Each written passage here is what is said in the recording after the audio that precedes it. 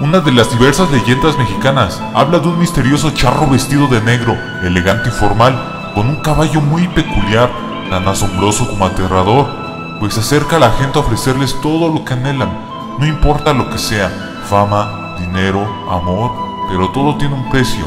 ¿Quieren saber cuál es? Esta es la historia de Aurelio, quien en la vida le va muy mal económicamente. Ya estoy hasta la madre, pinche jefe, no me quiso prestar la lana. Y la verdad sí la necesito, pues tengo que comprarle su uniforme a mi hija. Ya bailó Berta, vatos. Chingao. ¿Qué dicen si nos vamos a echar caguama? Aurelio y sus compañeros de trabajo habían ido a beber alcohol, discutiendo sobre lo mal que les va en la vida. Ya quiero salir de este fregado agujero, cabrón. Tener un chingo de billete. No sé cómo hacerle, carajo. Caray. Los compañeros de Aurelio ya se habían ido a casa, menos él. A altas horas de la madrugada, él siguió bebiendo en medio de la nada de su pueblo. En eso se le acerca un charro muy elegante junto con un caballo nunca antes visto, muy hermoso. Buenas noches. Usted es Aurelio, ¿verdad? Sí, compa, ¿usted quién es? Un forajido de por acá. Ah, chirrión, si nunca te había visto. Ando de pueblo en pueblo. Y sabes, no he podido evitar escuchar su amarga situación.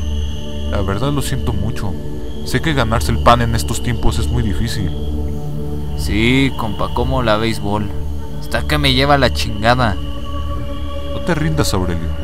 Es más, yo tengo un chingo de billete y te puedo dar todo lo que tú desees. Darle una buena calidad de vida a tus hijos, juguetes, estudios y, como no, para ti también. Un carrito no te vendría nada mal, ¿verdad? ¿O qué tal una hacienda? Así como ves en esas novelas, ¿eh? Y lo mejor de todo, limpiamente. Ah, caray, tú me quieres meter en el narco, ¿verdad? No, no, no, no, no. Es más, mira, no te miento. Si quieres hoy mismo te llevas todo. Órale. El charro había sacado un costal lleno de monedas de oro. Y serán todas para ti, solo si dejas morir a alguien por mí. Aguanta, aguanta, aguanta, aguanta. ¿Estás diciendo que quieres que mate a alguien? No, tú no. Digamos que solo me darás su alma. ¿Qué dices? ¿Quién podría ser? Eso sí, debe ser un familiar tuyo. Pues me la pones difícil, compa. No sé qué ganas con eso, pero pues sí necesito la lana. Podría ser mi jefecito y anda en las últimas. Puedes llevártelo si quieres. Ok, no se diga más. Recibe todo esto.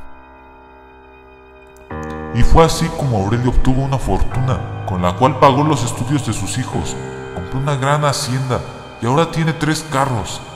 Y el precio fue dejar morir a su padre, quien aún tenía esperanzas de sobrevivir a su enfermedad, su hijo lo había dejado morir.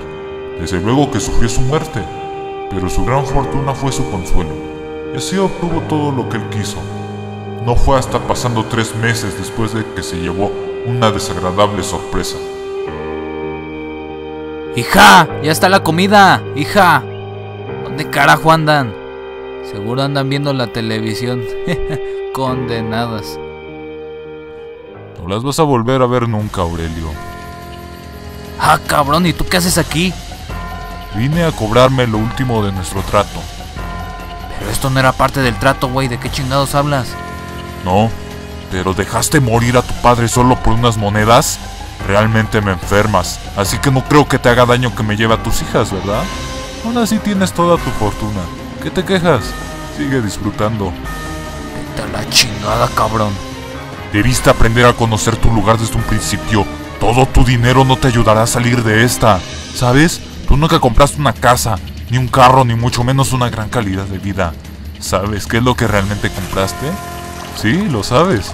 Solo compraste un gran boleto al infierno junto con tu padre y tus hijas. No te preocupes, juntos sufrirán en el infierno.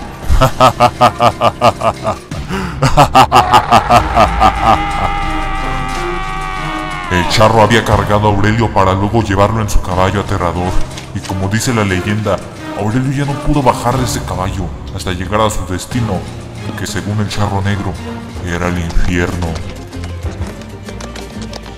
Al día de hoy nadie sabe quién es realmente el charro negro. Hay quienes dicen que es el diablo, otros que es un simple forajido astuto y otros dicen que es un alma en pena. Pero si algo es cierto, es que jamás debes hacer un pacto con él, por mucho que te ofrezca. Solo tienes que decir, no gracias, conozco muy bien dónde estoy.